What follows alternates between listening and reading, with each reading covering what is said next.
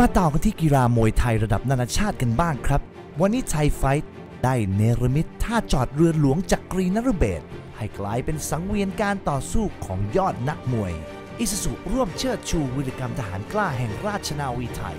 พร้อมสานต่อเจตนารมณ์รักชาติรักมวยไทย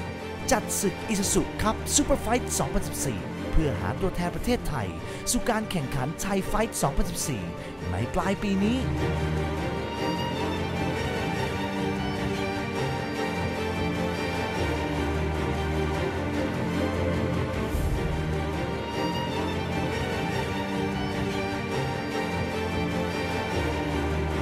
และแน่นอนครับว่าเราก็ได้ทราบว่าใครนั้นเป็นผู้ชนะที่จะเป็นตัวแทนประเทศไทย ไปแข่งขันเป็นที่เรียบร้อยแล้ว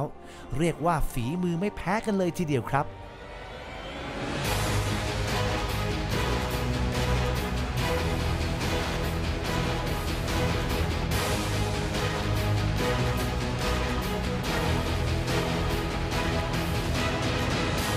ดีค่ะท่านผู้ชม ดิฉันอยู่กับนะคะมิสเตอร์ฮิโรชินากากาวะประธานบริษัทตรีเพชรอิสุสุเซลส์จำกัดนะคะ ในการแข่งขันมวยไทยนัดพิเศษไทยไฟท์จากกรีนนริเบศที่สัตหีบชนบุรีค่ะ ก็อยากจะเรียนถามท่านประธานถึงความรู้สึกของท่านประธานนะคะ วันนี้ในศึกอิสุสุคัพซุปเปอร์ไฟท์ระหว่างคุณไซโยกกับคุณชนะจนนะคะ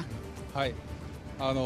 非常にいいファイトで、佐用がそのノッノックアウトで勝ったって非常に 楽しく見させてもらいました。それとタイの方がこんなにですね、あのイスズスーパーファイトを応援してくれてて非常にありがたいと思っています。 ค่ะท่านประธานบอกว่าเป็นการต่อสู้ที่ดุเดือดสูสี เพราะว่ามีฝีมือทั้งคู่นะคะ แต่ในที่สุดคุณไซโยกนะคะ ก็เป็นผู้ชนะแบบน็อกเอาท์ท่านประธานได้เห็นนะคะ ประชาชนชาวไทยร่วมใจกันมาเชียร์อิสุสุคัพซูเปอร์ไฟอย่างล้นหลามก็เป็นที่น่าปลื้มปิติเป็นอย่างยิ่งค่ะ แล้วเตรียมพบกับการแข่งขันไทยไฟท์ 2014 ปลายปีนี้แน่นอนครับ ร่วมเป็นกำลังใจและเชียร์นักมวยไทยของเราต่อไปครับ